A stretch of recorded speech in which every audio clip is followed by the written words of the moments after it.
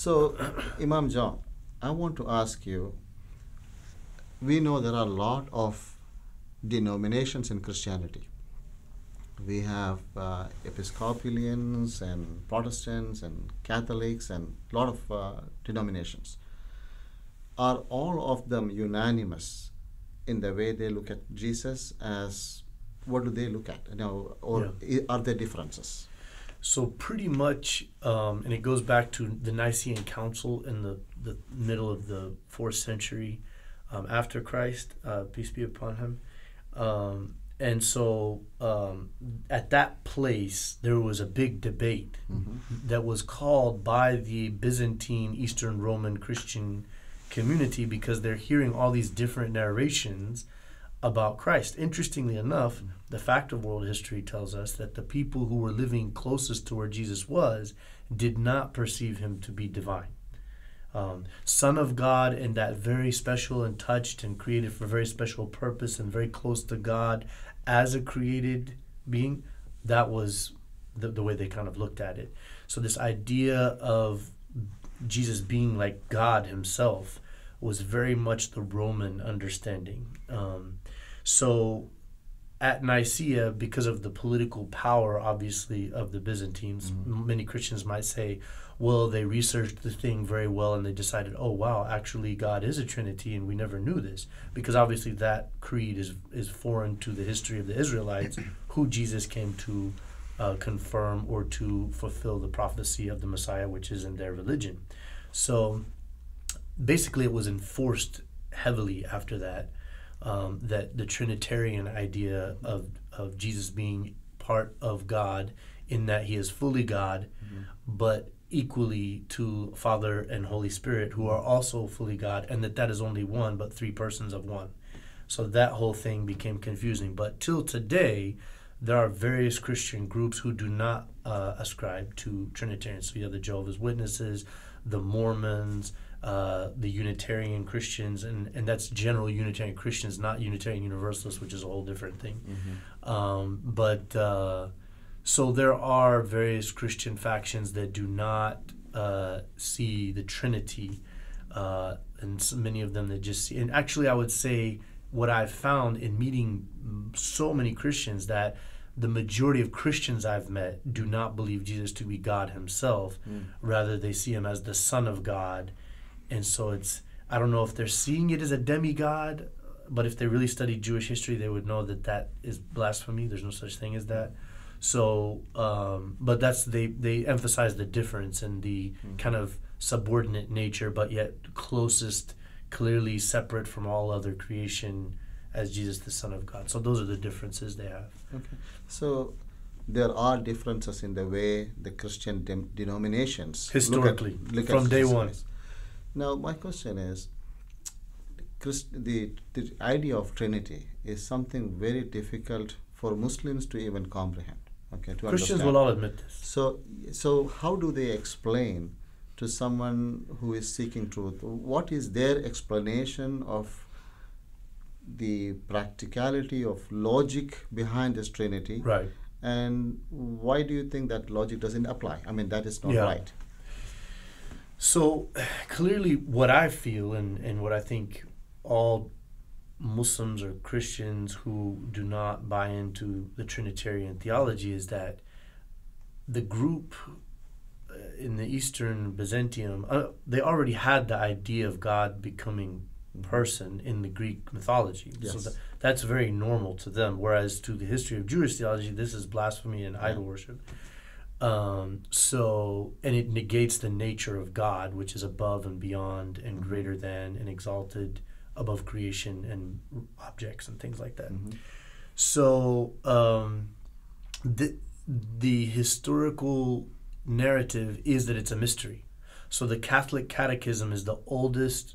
Um, they basically came out of that, you know, the Eastern Rome, the Roman Catholicism of the Nicene Creed, and they adopted all of that, and and so they've always had that, you know, idea. They'll admit it's a mystery. It's what we believe in faith, and so, um, but they needed to reconcile I think, the finality of purpose of Jesus Christ. Because if he is just a prophet, then maybe there will be new prophets. Mhm. So we need something that's crystal clear, the end. You know, there can be no new religion. That way it solidifies that religion as the final testament and understanding. Whereas if you just keep him as a prophet like other prophets, then there, will- there will be new Yeah. um, prophets. And it seemed that they wanted to be separate from Judaism because Judaism has this idea of the Messiah, and they basically, with this Trinitarian thing, completely invented a whole new idea of what is the Messiah and what is his purpose and identity and all of that in this thing. So at that point, once they established this Trinitarian belief about Jesus and the Messiah, that completely separated them permanently from the Jewish faith.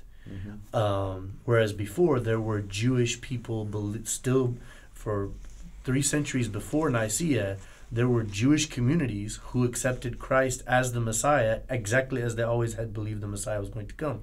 But that was canceled. No more believing like that. Mm. Um, so when you ask a pastor or a priest or a scholar at the seminary, they're going to tell you, well, it's like water because you know, like water is like gas and ice, and then it's liquid, and so it's like it's all water, but it can be in three ways, and or there's like the egg, and so it's like a shell and the yolk, and then the Yeah. yeah. So, but still, all of that is just philosophical play, and you can philosophize that the other round because, you know, in the Bible, there's a story that John the Baptist was baptizing Jesus. Mhm. For me, as a Christian, before I knew anything about Islam, this was always a problem to me. If Jesus is God, why does he need some guy who's not God to baptize him? Right? Mm. Why would I, if I'm God, why would I need some prophet to cleanse me of my original sin when supposedly me and my mother were born sinless? Yeah.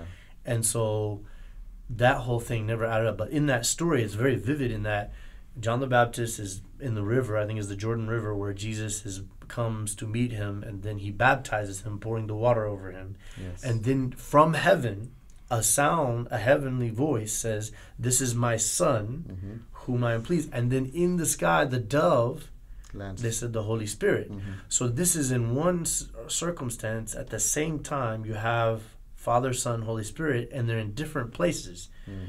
and they're three separate entities, and uh, you cannot, uh, you know, it's, it's it's it's some weird way of trying to make that monotheism at that point because for me, for it to make sense. God will either be present, which is the pantheistic Hindu doctrine, is that when we focus on this aspect of God, Mhm. then he manifests as this. And then when we look into that aspect of his qualities and what he does, then he may come as that. So here it's now it's looking like three different entities. Gotcha. In the Bible, in the entire Bible, to my knowledge, there is no word in the Bible that says Trinity. Not not just the word Trinity is not there. I mean that that argument can be turned around on Muslims. Is the word Tawheed found in the Quran? And it is not. The word Tawheed is not uh, found there. But the the de- definition of it Mhm. uh, in the Bible, uh, Father, Son, Holy Spirit, it's well documented and admitted, I think, in Matthew somewhere, that Protestant and all the New International Version versions of the Bible, they admit that there was a verse that was added by the Catholic Church Mhm. um, and standardized in mainstream King James and all those Bibles that they took out because they felt that they were just trying to prove Trinity Mm. but it was not from the original manuscripts. Yeah. So there really is no one. There are references to separately Father, Son, and Holy Spirit, but as one creed, as one thing, it's not. It's not there. And so as a creed, um, so that's that's a problem. Yeah. Whereas the Quran, I, you can't go up one page without God saying there is only one God. God is one. There is no deity other than Him. So that is the creed of That's right. Islam. So That's that's right. every page of the Quran almost. You have that. Yeah, I think this verse is the first John chapter five verse seven that says, "For there are three that bear record in the heaven, the Father, Son, and the Holy Ghost, and these three are one." Yeah, yeah, this one. F- First John chapter five verse seven. Excellent. Well, Yeah. So-. Uh, next question I, I want to ask you is we know bible the new testament has 27 books and about 14 of them are written by Paul or attributed to Paul. Right. And we're told that Paul, after Saint Paul comes into the picture, which is about five or six decades after Jesus Christ, about 40, 50 years after Jesus Christ. Several years after yeah, it's Jesus years. Christ. Yeah, I'm, I'm not sure exactly. So when he comes in, he he has not met Jesus Christ, and he Mhm. has never been a disciple like the other uh, you know followers of Jesus Christ. And his books, fourteen books, form more than fifty percent of the New Testament. And it is commonly understood that Paul's version of Christianity is what is what we see today. for sure. Uh, so, can you tell us a little bit about what Paul brought into Christianity and how did Paul gain that kind of momentum and fame and strength compared to the people who really stayed and worked and you know Right. ate and spent time with Jesus Christ? So I think it, I think it's important to kind of navigate the history of it as well as the doctrine. Mm-hmm. Um, so when we talk about Paul um, and his being someone who was originally a persecutor, he was Saul of Tarsus. Yes. So he was a Jewish uh, opposer, and he felt that this is blasphemy, and what the saying that he's really the Messiah, and all of this, and um, the way people are talking the Son of God is seems exaggerated um, in in his understanding of Judaism. But then mysteriously he falls off, I guess, his donkey or something Yeah. like that. Has the vision. Jesus comes and appoints him as the thirteenth apostle.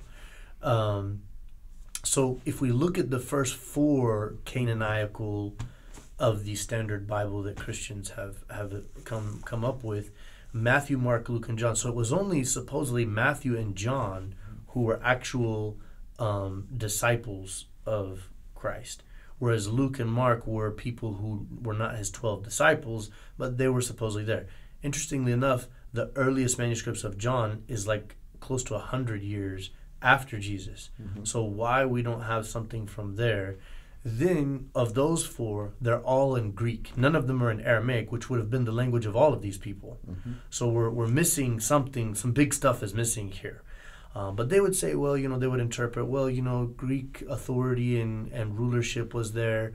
Um, but it would be very strange uh, to standardize uh, the religion of Islam in Persian, for example, which was a dominant Yeah. kingdom that some Muslims would have known from trading and so forth, or Assyrian or whatever. So Jews are very identity based historically. They're ethnically religious. Mhm. So Hebrew and Aramaic are very Semitic languages, very different from the Latin Greek thing. So that's one issue. Um, the second issue is um, that why, so why is there only four or five? You know, because Acts is, has some things from the apostles as well, which comes after those 4 Mhm. But why is the majority of, you know, two thirds of the of the New Testament the teaching of Christianity Yes. uh, as in doctrine coming from Paul? It's because Paul in he, he ventured and traveled north from uh, Palestine, where he would have been in Nazareth and Bethlehem and Jerusalem in that area. So he traveled up towards the Lebanon, Turkey, and then on into uh, you know the Greek area and all of that. So he was sending all these letters, and then you know to the Romans, and they have all these letters, Corinthians, and all these letters to these groups. He's giving letters to people who have no idea anything about really. They don't even know too much about Judaism, Mm. but he's telling this amazing story about Christ and Jesus, uh, and he emphasizes one point that. Um, you know, it seems like he's emphasizing this kind of separate identity, that this is some new religion, rather than the finality or completion of Judaism. He's he's even though he didn't use the term Christianity, it was given to him in Antioch by some pagan Turkish people. They called them. He keeps talking about Christ, Christ. We're from Christ. We follow Christ. He emphasizes Christ more than God and the historical uh, Israelite tradition. So basically, when I think Constantine's son, second Constantine or third, when he became a, a believer in these letters of Paul and those who were following it, um, some centuries, you know, two and a half centuries, something like that, after Jesus, then Paul's message in that powerful empire of the world resonated. There is well known historically all mm-hmm. kinds of what they call Gnostic or apocryphal gospels. Some of them attributed to other companions of Jesus, even Mary, mm-hmm. you know, Thomas and others, his own brother, that they have these historical gospels. But what happened was when Nicaea established this Trinitarian thing, that was all kind of built upon and through the ideas of Paul that had become prevalent. Or that's their only access. Mm. They do not have access to Matthew, Mark, Luke, and John. So what they would find, they would come to pick Matthew, Mark, Luke, and John as the core things of his life because they fit into. They're able to fit their theology, like Tertullian and his Trinitarian, and what they have developed in their ideas about Christ. They were able to fit all that together, and so they burned and destroyed um, any gospels uh, or stories of Christ and his teachings that would somehow conflict with that. And so that's basically um, how his doctrine became uh, supreme. And, and unfortunately, there was a lot of bloodshed to, uh, you know, establish that as a as a final understanding of Christianity. And a lot of modern Christians aren't aware of this. And so they just think that whatever Jesus taught is just one thing and it was always one thing and it's very clear and known by everyone and that's what we follow and that's why we follow it. It's very important for all of us because even as Muslims, there is historical battles and issues about law and understanding of politics and religion that happen in our history. Um, so it, we shouldn't just go along with something we heard people say without really contextualizing the history as it relates to certain doctrines and laws and uh, uh, systems of, of, of theology. So, what you're saying is Paul's uh, version of Christianity got a boost when Roman emperor took it up, and then from there on, it spread into the uh, a good part of the world, good uh, It was through world. their empire and the wars that they had is why Christianity is so prevalent. Gotcha.